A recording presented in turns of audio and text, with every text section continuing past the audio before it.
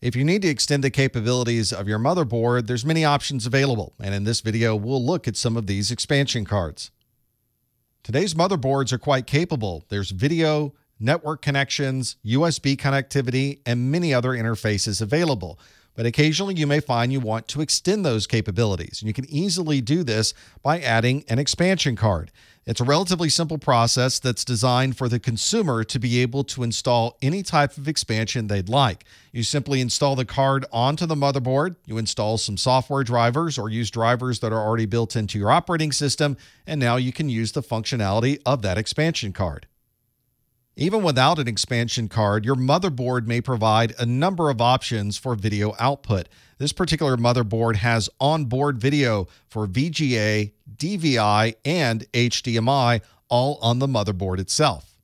But of course, if you're a gamer or you're someone who wants to do higher end video editing, you might want a separate expansion card that focuses on these high end video capabilities. So you need to purchase a video card that will go into the expansion slots available in your computer. These are usually adapter cards that take up two separate slots in the computer, not necessarily for the hardware itself, but because there are usually fans on these expansion cards that help keep the video card cool. Once this particular card's installed, you have the options for DVI connectivity, DisplayPort, and HDMI all on this single card. There's also expansion cards available for audio. This higher end audio system is a good one to use if you're integrating a set top box or a media server onto your existing sound system. You can plug in through existing analog connections or use a digital connection that would go directly to your sound system. If your motherboard doesn't have an Ethernet connection or you'd like to use a different style or speed of Ethernet, then you might want to install a separate Ethernet card.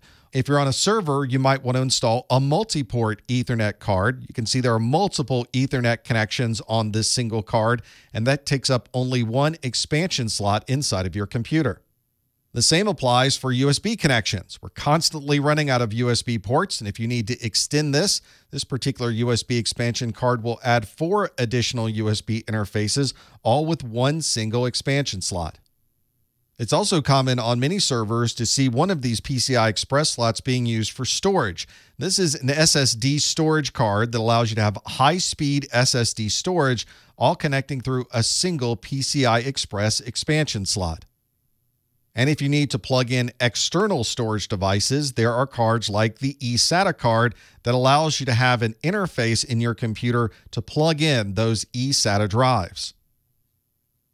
Before you purchase the expansion card that you're going to use, you're going to want to check the documentation both for the motherboard and for the expansion card. You need to make sure that your motherboard will support the type and the size of the card that you're installing.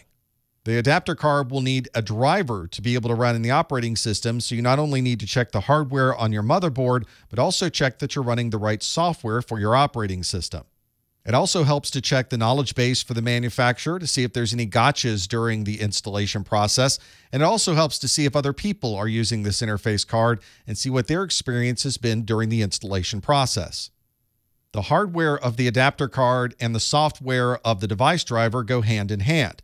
Sometimes the device driver needs to be installed before you install the hardware, and sometimes it's better to install it after you install the hardware. Make sure you check the manufacturer's documentation to find out the process they recommend for your system.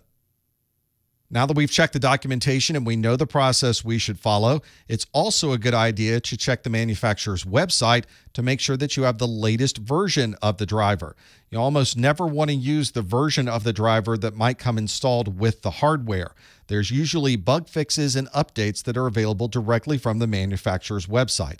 If there are existing device drivers on your system, you may want to uninstall those through the Windows Device Manager. Some manufacturers will provide their own installation program to install that driver. Other manufacturers don't have a separate installation program, and you must perform a manual installation using the Windows Device Manager.